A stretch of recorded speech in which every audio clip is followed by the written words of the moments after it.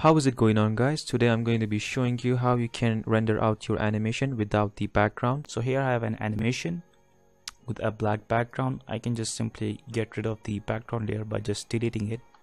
And now you'll get this checkerboard background. Now let's just export our animation.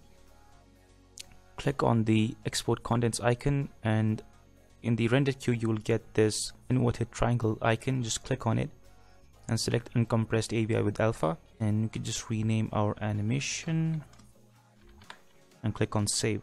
And then simply click on start exporting. And that's it guys. That's how you can export your animation without the background. So that's it guys. Uh, thank you for watching this video